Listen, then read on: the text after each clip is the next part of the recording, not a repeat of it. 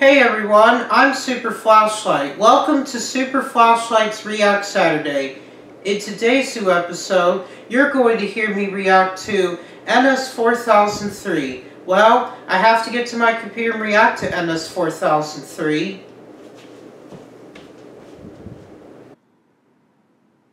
Eastbound NS4003 leads NS 1128 DP Trails NS278 Intermodal Crewe VA.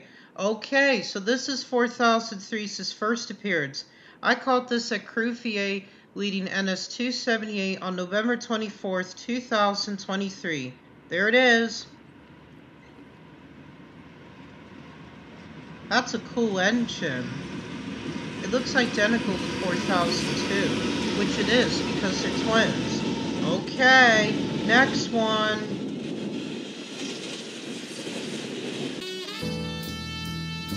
Eastbound NS4288 lead solo and NS4003 DP Trails NS272 Intermodal Crewe VA.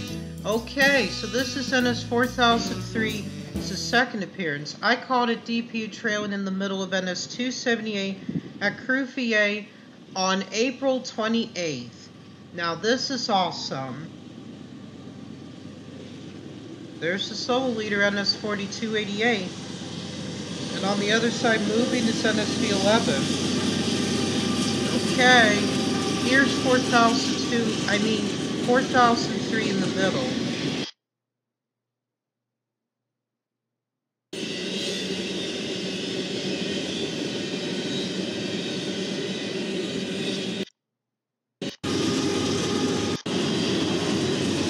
There it is, NS 4003 in the middle.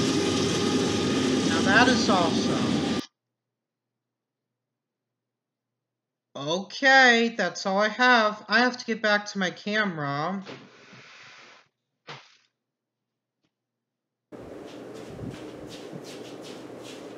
Well, that's all I have for NS 4003. I got it leading, I got it trailing, well, mid-D, mid-DPU trailing, I got on 278 and 272 heading east. Hopefully I'll get a heading west, leading and trailing, and a normal trailing eastbound appearance and parked and idle and uh, all of the above including rear DPU.